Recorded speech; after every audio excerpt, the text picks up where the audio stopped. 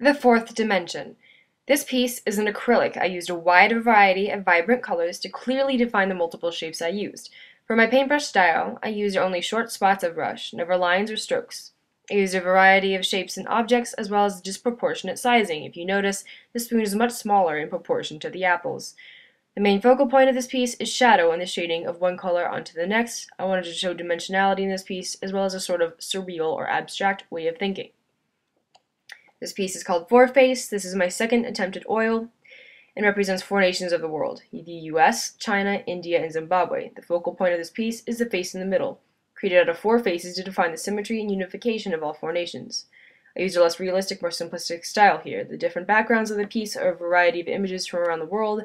The figure has its eyes closed and has a soft smile on its lips to represent the figure is at peace with the world and all other nations around it.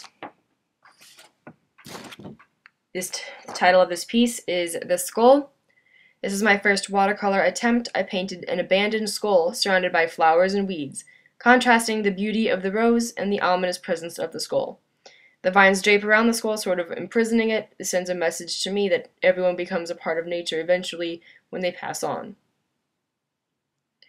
This next piece of mine is pastel. I call it the apple. This piece is my first oil pastel. I created a very centered piece with bright and neutral colors contrasting each other, all mostly pastel. I wanted to create a more traditional piece instead of creating a more abstract or inventive idea.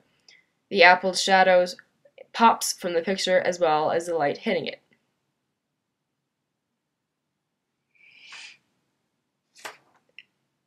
This next piece is called The Raven.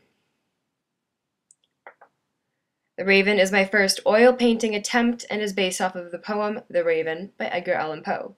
I use sort of neutral colors, browns and greens, with lots of blacks to create a calm, dark, and ominous feeling, like the feeling you would get in an old funeral parlor. The candles give it a nice contrast of the dark of the raven and the light of the candle's fire. The candles represent new life, while the raven represents the eventual death that no one can escape. This next piece is called The Rose. This is my first full drawing attempt. I wanted to create a classic traditional view of a rose, close up so you can see the obviously defined lines and gradual shading and hatching for the shadows to create a more realistic, less cartoonish look.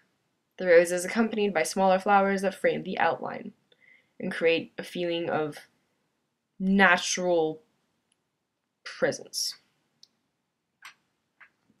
This next piece is called Father Figure. This piece is my first Conte crayon. The similar red and brown colors create dimensionality while complementing each other's brown tones. I created an illusion of a shaft of light shining down from above to create an interesting arrange of dark and light areas on the figure.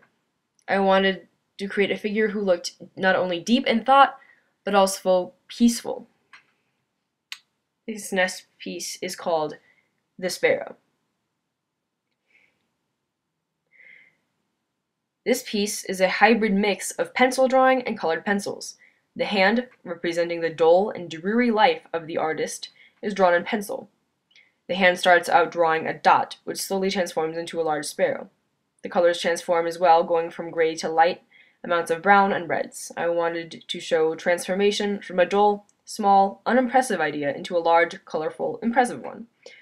The hand's lights and shadows add dimensional to the piece. This next piece is called The Horse. This is my second watercolor attempt. I wanted to create a horse that was created with many layers of different colors, mostly cool colors, unlike the classic rule of warm colors for light and cool colors for shadow. I gave the horse and mountains color tints they would not have in real life, such as red mountains and a blue horse, to create a dreamlike quality. This next piece is called Pop God. This acrylic piece is a parody, representing the modern pop rapper's tendency to be self-centered. The subject here is an unidentified Hollywood rapper who is flaunting a peace sign while he takes a selfie with an unseen camera. The rapper himself is neither handsome nor ugly, as he relies on words, not looks, to fuel his fame. The subject is wearing a typical backward-style baseball cap along with a pair of aviators, both of which are very popular today with teenagers, as well as pop icons. The hat and glasses represent the rapper's ability to set fashion trends with today's teens, as well as the rapper's power to hold influence on millions of children. The rapper has a halo of white around his head as a mock to the Virgin Mary or Christian Jesus, who is usually portrayed in artwork with a halo of white around their heads as well. The rapper's halo is a symbol of the rapper's own arrogance and narcissism. The rapper is dead center of the piece because the rapper always wants to be center of attention. This piece represents not necessarily a negative role model, but instead warns the viewer of pop icon's extraordinary ability to influence others around him, for better or for worse. Again, this piece is Pop God. This next piece is a self-portrait done entirely in pen. This piece is a self-portrait and was created using the same thickness of lines to create a similar pattern unifying the piece. The dark lines are shadows and are used to create a work of extreme contrast with white whites and dark darks. The subject's face and hair have curvature with lines curving from the center. The lines begin to disappear eventually, fading off into the distance, the shadow along with it, giving the piece a sort of unfinished look. The next piece is called The Face and has extreme contrast using only blacks and grays for the face and white for the shadow. I used a vivid red for the pop, lips for the lips to pop, and the paint on the brush to pop as well. Again, this is the face. Once we're done with dinner, I'd like to Hello, my name is Gianna Brown, and I'm in Oak Park High School's AP Studio Art. This has been my breadth portfolio. Thank you for sticking with me, and um, thank you for appreciating my art. Uh, I'm a junior at Oak Park here. This has really been a great experience for me, and to add that I tried to add as many media as possible, and I spent a very long time on this. Thank you very much. I'm Gianna Brown.